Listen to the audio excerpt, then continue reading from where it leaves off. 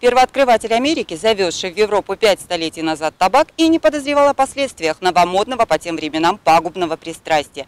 Привычка к курению для одних превратилась в прибыльный бизнес, для других обернулась добровольным рабством. Есть и третья категория, для которых блажь курящих сделала их в прямом смысле заложниками ситуации. Вынужденное соседство с дымящим человеком, например, на остановочных пунктах или террасах летних кафе, вызывает не только негативные эмоции у некурящего, но и последующие проблемы, связанные с пассивным курением. Табачный дым в своем составе содержит более 50 канцерогенов, то есть это вещества, которые способствуют развитию злокачественных новообразований.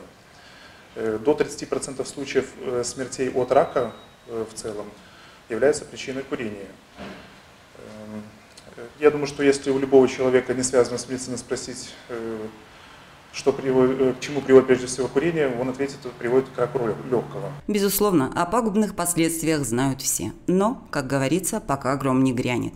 Ежедневно в Беларуси около 40 человек уходят из жизни по причинам, связанным с курением. Важная задача этого дня – не только информировать, но и призывать к активным действиям ответственных лиц, государственных, э, э, общественных организаций для принятия более эффективных мер по предотвращению, по борьбе с табакокурением. Полгода назад бросила курить, поэтому близко. И понимаю, как сложно иногда людям, ну хочется покурить все. В моем случае, когда я курила, я не курила прямо на сносках, я отходила куда-то подальше. Ну, то, что прямо вот, ну, неприятно. Я сейчас понимаю, что это такое, принюхиваюсь, да. Неприятно, когда рядом курят в толпе. Я старалась этого не делать, но это уже зависит от культуры человека, от воспитания. У нас отец курил всю жизнь, ну, с войны, и умер от этого. Именно от этого. Так это вообще, я, я смотреть спокойно не могу. Всех друзей говорю, вы лучше это. Позаботьтесь о себе. Начиная с 2002 года в нашей стране за курильщиков, не способных справиться с пагубным пристрастием и не задумывающихся о вредоносных последствиях как для себя, так и для окружающих, стало думать государство.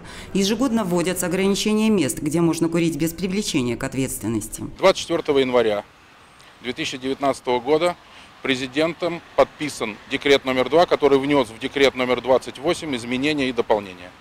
Декрет номер 2 начинает действовать с 27 июля 2019 года. Декрет внес изменения в места, запрещенные для курения, для использования электронных систем курения и систем для употребления табака. К уже существующему перечню мест, где курить было запрещено ранее, добавились детские площадки, остановки общественного транспорта, летние террасы кафе и ресторанов, городские пляжи.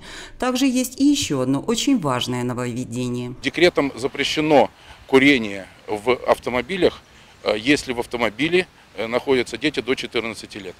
Э, данная норма новая, и она будет реализовываться и контролироваться органами, ведущими административный процесс. Согласно Кодексу об административных правонарушениях и процессуально-исполнительного кодекса об административных правонарушениях Республики Беларусь, правом составлять административные протоколы по статье 17.9 возложено на органы внутренних дел, на органы транспорта и коммуникаций, на органы железнодорожного транспорта. Это может делать транспортная инспекция. Эти же органы могут рассматривать данные виды административных протоколов. Нововведения коснулись и железнодорожного транспорта. К уже существующему запрету на курение в поездах межрегиональных линий эконом-класса, бизнес-класса и городских линий добавились поезда международных линий, следующих по территории нашей республики. Обращаем внимание пассажиров, что с 27 июля 2019 года на белорусской железной дороге вводится запрет на курение, в том числе электронных сигарет, в поездах международных линий, курсирующих по территории республики. Беларусь. Данные нормы закреплены декретом президента Республики Беларусь. Остается надеяться, что вступление в силу декрета номер два заставит задуматься курильщиков о том, чтобы, так сказать, завязать с вредным пристрастием, а вместо привычной утренней сигареты выпить стакан свежего сока, заменив никотин на витамины. Ваш организм и окружающие скажут вам спасибо. Наталья Луговкина, Григорий Пекарский, Дмитрий Лазарчук, телекомпания Бук ТВ.